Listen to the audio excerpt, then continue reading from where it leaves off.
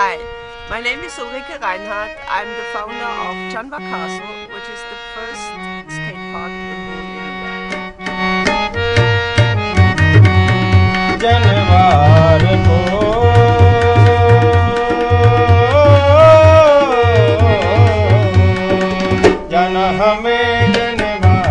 the castle is located in the small village of Janwaar, which lies in the eastern buffer zone of the Panna National Park in Madhya Pradesh. The skate park was built by 12 volunteers from seven different countries within 10 weeks. It only opened in April 2015. From then on, the village of Janwaar went on an amazing journey. What once was a dull and sleepy village, cut away from the rest of the world, bursted into life.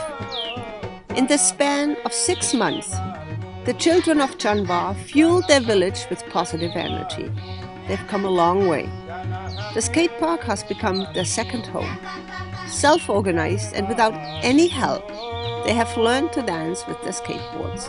Skateboarding is their passion and their hope. But now we do have a problem. We desperately need 25 brand new skateboards, helmets, and safety gears. The ones we have are completely worn out. They can barely be used anymore because the kids practice tirelessly every day. To make a long story short, we do need 3000 US dollars. To raise this amount of money, we ask for your help.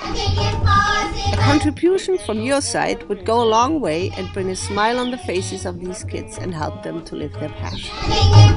So please, contribute and spread the word by sharing this video with your family and friends.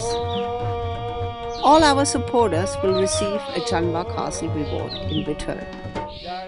For making a donation and to learn more about Janwaar Castle, please log on to our website.